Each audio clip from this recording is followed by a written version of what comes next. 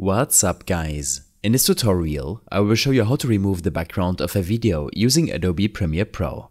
This technique is particularly useful if you want to replace a solid color background with a different image or video.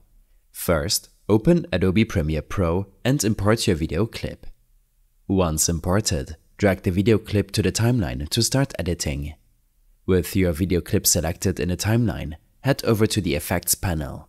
If you can't find the Effects panel, go to Window, Effects to enable it. In the search bar within the Effects panel, type Color Key.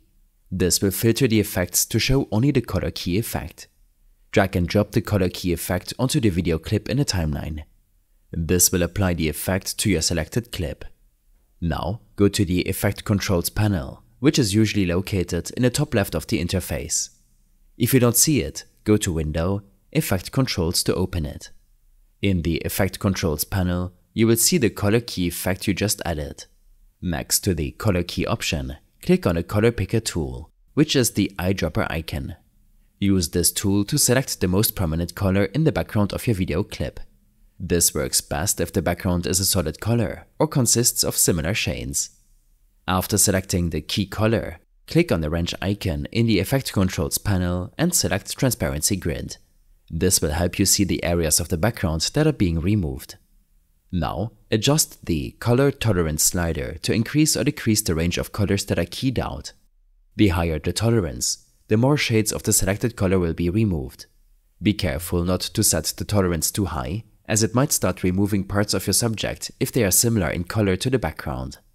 Next, adjust the Edge Thin slider to refine the edges of your subject. This setting helps to remove any remaining fringe of the background color around your subject.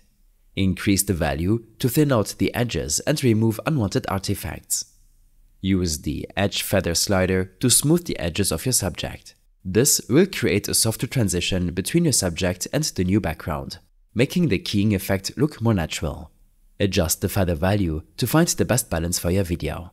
Once you're satisfied with the keying effect, you can import a new background video or image to replace the removed background.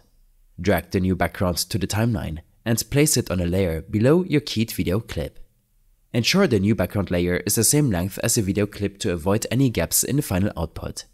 You can also adjust the position and scale of the new background in the Effect Controls panel to fit your scene perfectly. I hope this helped you out. Leave a comment if you have any questions and see you in the next one.